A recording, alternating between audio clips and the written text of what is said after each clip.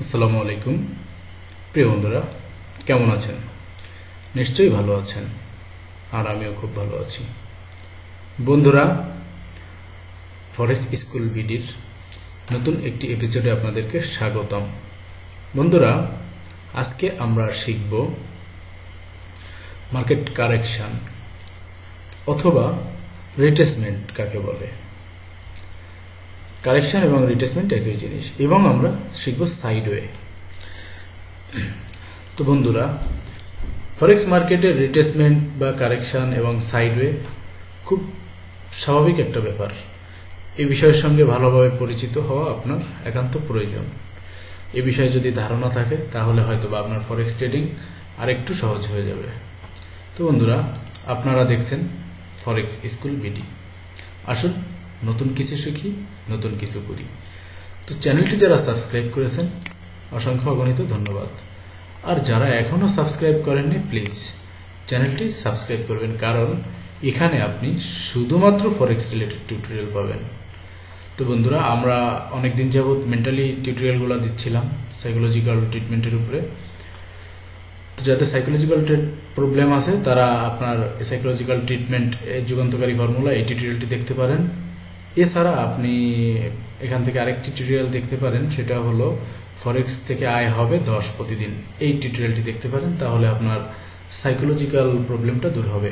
এছাড়া আপনি মানি ম্যানেজমেন্টের ক্ষেত্রে এই ভিডিওটি অবশ্যই দেখবেন। চমৎকার একটি টিউটোরিয়াল তো বন্ধুরা আমরা চলুন আমাদের মূল টিউটোরিয়ালে ফিরে যাই। বন্ধুরা, আজকে আমরা শিখব কারেকশন সাইডওয়ে এবং কারেকশন এবং সাইডওয়ে নট এবং, অথবা রিটেসমেন্ট যাই বলি না কেন। দেখেন বন্ধুরা, আমরা মান্থলি একটা চার্ট ওপেন করলাম। এই চার্টটি হলো ইউরো ইউএসডি তো এখানে আমরা একটা ট্রেন লাইন আঁকবো। ট্রেন লাইন সম্বন্ধে সবারই কম বেশি সূক্ষ্ম ধারণা আছে। তো এটা সম্বন্ধে আর ধারণা দেওয়ার কিছু নেই। তো এখানে দেখুন, আমরা কি করেছি? সুন্দর একটি ট্রেন লাইন এঁকেছি, ঠিক আছে? তো এই ট্রেন লাইনটি দ্বারা আমরা একটা নির্দিষ্ট ওয়ে পেলাম। সেটা হলো আমার ইউরো ইউএসডি চার্টটি এই মুহূর্তে এইটুকু অন্তত ডাউন ট্রেন্ডের দিকে আছে। ঠিক আছে? তো ডাউন ট্রেন্ডে মার্কেটে মার্কেট কখনো কখনো কারেকশন হয়ে থাকে। আপ ট্রেন্ডের ক্ষেত্রেও সেম ঘটনা ঘটে। আমরা দেখব পর্যায়ক্রমে।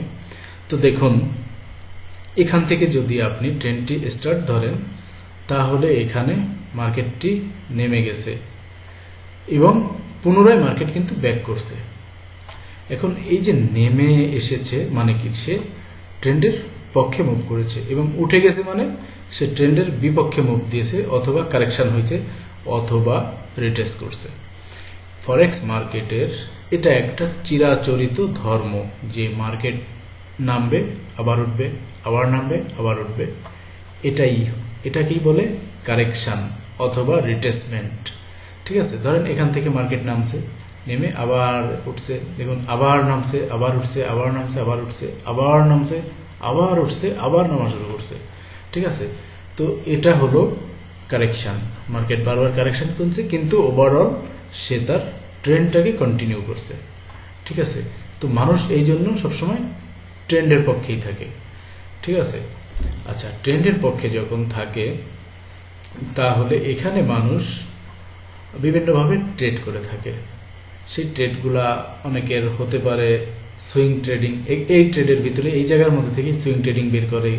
কেউ আপনার রিটেসমেন্টে ট্রেড করে মানে টপ বটমের, ঠিক আছে? কেউ কারেকশন মার্কেটে ট্রেড করে। এক এক জনের এক একটা সিস্টেম। সিস্টেম অনুযায়ী তারা আগায়। তো আমরা এটা শিখলাম যে রিটেসমেন্ট ডাউন ট্রেন্ডের ক্ষেত্রে কীভাবে মার্কেট পুনরায় ব্যাক করে এবং কারেকশানটা কীভাবে আসে, ঠিক আছে? আচ্ছা এরপরে আমরা শিখব আপার টাউন্ডে যদি মার্কেটটা এরকম ঘটনা ঘটে, তাহলে সেক্ষেত্রে করণীয়টা কি? আপার টাউন আপার ট্রেন্ডের একটা ট্রেন্ড লাগে। বন্ধুরা, দেখুন, এখান থেকে যদি আমরা মার্কেটটিকে ধরি, ঠিক আছে? তাহলে আপনি আর আমি খুব আরামসে দেখতে পাবো যে মার্কেটটি উঠতেছে, নামছে। উঠতেছে, নামছে। আবার উঠছে, আবার নামছে। আবার উঠছে, আবার নামছে। এভাবে ওভারঅল কিন্তু মার্কেটটি সে তার আপার কন্টিনিউ করে গেছে। ঠিক আছে? এই যে আপ লাইনটি সে ঠিক রেখে গেছে। তো এটাকে বলা হয় আপ ট্রেন্ড মার্কেট তার ট্রেন্ড বজায় রাখছে। ঠিক আছে? তো ট্রেন্ডটি বজায় রাখার কারণে বারবার মার্কেট কারেকশন হয়েছে, আবার মুখ দিছে। ঠিক আছে? কারেকশন হয়েছে, আবার মুভ দিছে এটাকে বলা হয় রিটেসমেন্ট বা কারেকশন এখন বন্ধুরা, এগুলো কেন হয়? আপনাদের মনে প্রশ্ন জাগতেই পারে। তো প্রথমে খুব সহজ উত্তর হলো, এটা মার্কেটের একটা খুব স্বাভাবিক বিষয়। আচ্ছা নেক্সট যে বিষয়টা খুব গুরুত্বপূর্ণ, সেটা হলো, ধরুন এই লেভেল থেকে কেউ একটা বাই করল এবং এই লেভেলে তার টেক প্রফিট থাকল। ঠিক আছে? তো এখান থেকে এন্ট্রি নিয়ে এখানে বায়াররা বের হয়ে গেল। তো বায়াররা বের হয়ে যাওয়ার কারণে এই লেভেল থেকে বায়াররা বের হয়ে যাওয়ার কারণে তখন এখানে সেলারের সংখ্যা বৃদ্ধি পেল। সেলার থাকল। তখন মার্কেটটা সেলের দিকে প্রেশার পড়ে। তখন মার্কেট কিছুটা নেমে যায়। ঠিক আছে? নেমে যাওয়ার পরে আবার যখন এখান থেকে বায়াররা ইনক্লুড হয়, সেলারদের সংখ্যা কমে যায়, তখন সেলাররা আর মার্কেটটিকে কন্ট্রোল করতে পারে না। তখন মার্কেটটি বায়ারদের নিয়ন্ত্রণে চলে আসে। তখন মার্কেটটি কিন্তু পুনরায় আবার বায়ের দিকে মুভ নেয়। ঠিক আছে, এটা আপনার আমার জন্য হবে না, এটা অনেক বড় বড় ট্রেডার আছে বিলিয়ন বিলিয়ন যারা ডিপোজিট করে, তাদের একটা ট্রেডের ক্ষেত্রে এত বড় বিশাল ভূমিকা রাখে, ঠিক আছে? তো আপনি আপার ট্রেন্ড বলেন অথবা ডাউন ট্রেন্ড বলেন, যে কোনো ক্ষেত্রেই বলেন না কেন মার্কেটের যে কারেকশনটা হয়, এক্ষেত্রে আপনার যদি সেল মার্কেটটা কারেকশন হতে দেখেন সেল ট্রেড তাহলে মনে করবেন এখান থেকে সেলাররা বের হয়ে গেছে, যে কারণে মার্কেট রিটেস করতেছে। পুনরায় আবার যখন এখান থেকে বায়াররা বের হয়ে যাবে বা নতুন সেলার ইনক্লুড হবে, তখন মার্কেট আবার ডাউনের দিকে মুখ দিবে।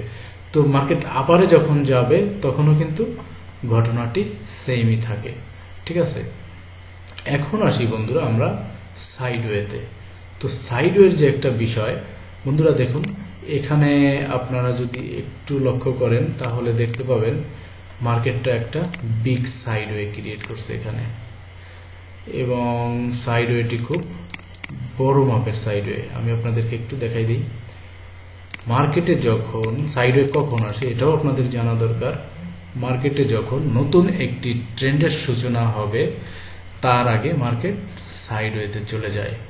মানে নির্দিষ্ট একটা রেঞ্জের মধ্যে তার ওঠানামাটা সীমাবদ্ধ থাকে।